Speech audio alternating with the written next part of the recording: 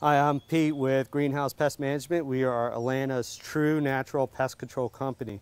One way to tell that you have bed bugs is by waking up and understanding that, or seeing that you actually have blemishes all over your body, bites all over your body that happen and occurred throughout the night.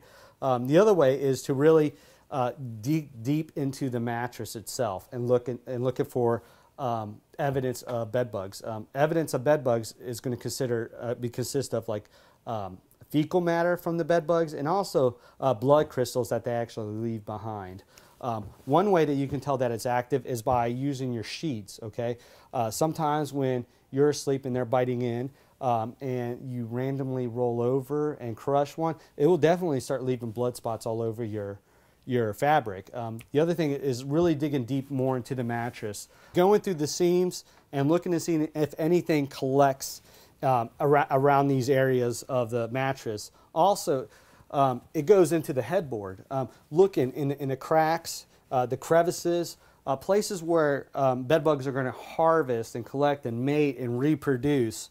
Uh, but lifting your mattress up, getting into your box springs.